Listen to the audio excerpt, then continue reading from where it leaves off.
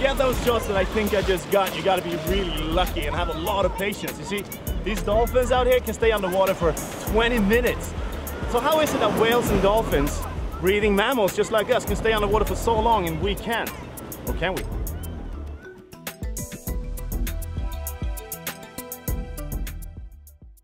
Ever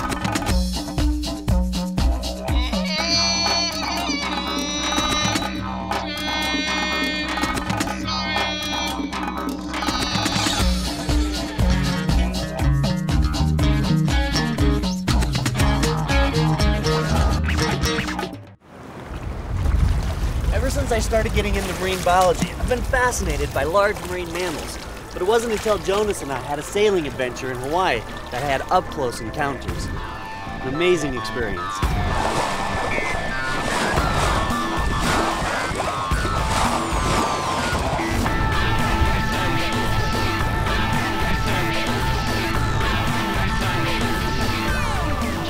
So whales and dolphins are mammals just like us. They have lungs to breathe with, blood that carries oxygen all throughout their body. They even evolved from ancestors that lived on the land a long, long time ago.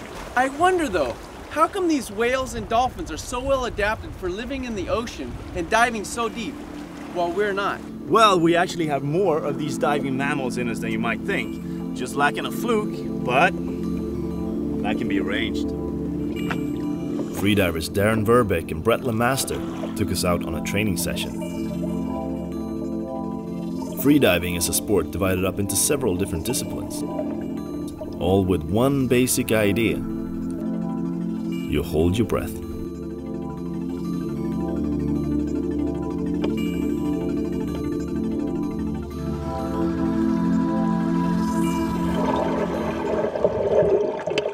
Breathing is something that we take for granted and don't even think about.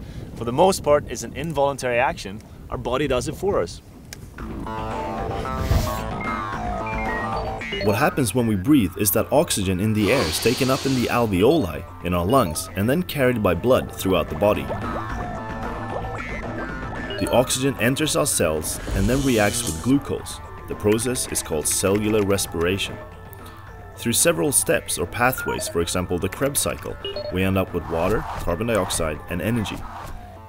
Even though it's oxygen we need for cellular respiration, it's the buildup of carbon dioxide and not the lack of oxygen that is the primary signal to the body to take another breath. On average, when we're relaxed, an adult breathes around 12 to 20 times every minute.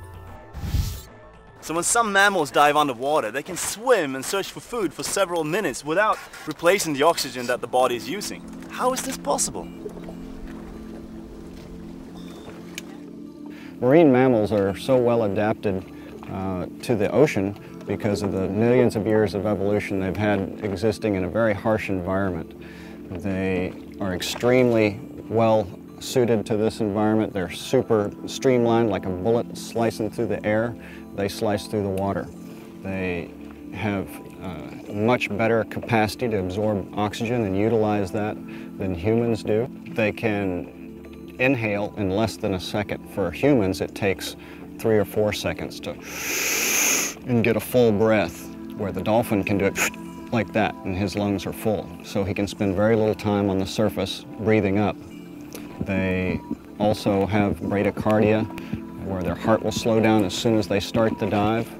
They have uh, venal constriction in the, their, their fins, just like we do in our arms and legs, which allows that extra blood to go to the core of their body and oxygenate the parts of their body that need a continuous supply of oxygen. The kidneys, the brain, the heart, and the same with us. As it turns out, when we humans freedive, we have similar responses, such as bradycardia, slowing down of the heart rate, and concentration of blood to vital organs. During long breath holds, it's important to maximize the oxygen supplies so that we can stay down as long as possible. Oxygen is used by the body to produce energy and is pumped around by the heart. Oxygen can also be stored in the body for short periods of time. For example, proteins in the muscles, called myoglobins, can store oxygen for muscle activity. Diving mammals have very high concentrations of myoglobin to supply their muscles with oxygen during their long dives. The ability to dive deep and stay on the water for long periods of time is a great adaptation for marine mammals when, for example, searching for food. The, the average person can do over 30 meters, okay, um, and hold their breath for roughly three minutes. With just a little bit of training here and there on, on technique and stuff like that, the average person can dive to 150 feet and hold their breath for about four and a half to five minutes.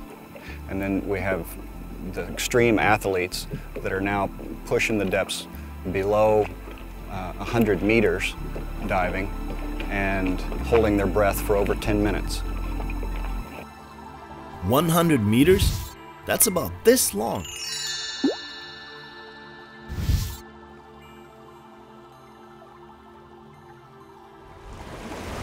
These mammals are totally amazing. Like these guys, we've also learned that our bodies have amazing abilities, well, given the right training. The male and female records for static apnea, which is basically when you lay face down in the water and hold your breath as long as you can, are longer than the length of this video. I guess the human body is not so far behind its distant relatives, the dolphins and whales, after all.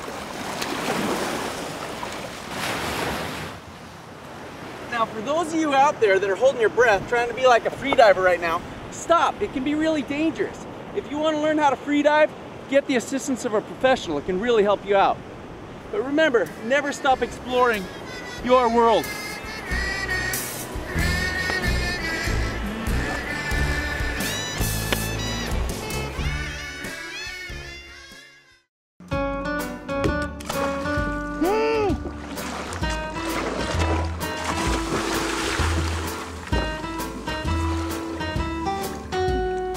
吃 了